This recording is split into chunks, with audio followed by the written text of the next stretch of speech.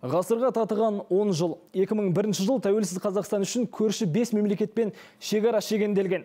Экономикамыз жүйеленіп, сыртқы саясатта беделіміз арта түскен жыл болды. Осынау қысқа мерзімде азат елдің аяқ айқындала түсті. Тәуелсіз елдің алғашқы 10 жылдығы туралы тілші тарқатсын. Ең ауыр кезеңдерді артқа тастаған Қазақстан 2001 жылы ең алдымен көршілес мемлекеттермен арадағы шекараға қатысты келіссөздерді толық аяқтап, ел қабырғасы нық бекіді. Бұл кезеңде терең дағдарысқа ұшыраған ұлттық экономикада өсім байқалып, инвестиция көлемі арта түсті. Ел астанасында алғаш рет әкімдердің республикалық кеңесі өтті. Трансевразиялық магистраль Батыс Еуропа, Батыс Қытай жобасы басталды. Елімізде жаңа жолдар салынып, әуежайлар мен Каспийдегі теңіз порты қайта құрылды. Стали на 10 лет старше.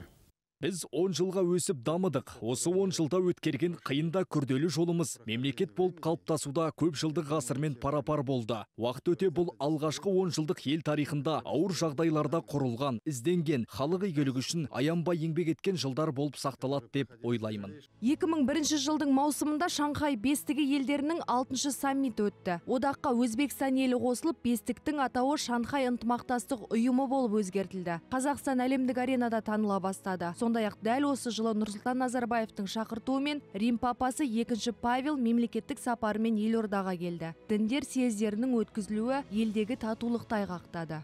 Тәуелсіздік бізге не берді деген кезеңдегі ең басты бергені біздің өзімізді өзіміз тануға, өзімізге, өзіміздің сенуімізге, біздің халқымыздың ерекше көне тарихы бар екендігіне және әл, әлемдік өркениетке тең дәрежеде үлес қосқан халық екенімізді бұл өзімізге мойындату деген бұл ең үлкен тәуелсіздіктің жетістігі. Ел тәуелсіздігінің 10 жылдығына орай Нұрсұлтанда 10 күндік декада өтті. Оған әлем елдерінің лауазымды тұлғалары мен басшылар келді. Осылайша 10 жылда қазақ елін төрткүл дүние таныды. Бұдан бөлек 2001-де алдағы 10 жылға арналған тілдің үш тұғырлығы ұлттық мәдени жобасы іске асырылды. Бұл елдегі барлық этностың тілін сақтауға, ел бірлігін нығайтуға септесті. Елбасының жарлығымен Атамекен Қазақстан картасы этнографиялық мемориалдық кешені деп аталатын мәдениет ошағы ашылды.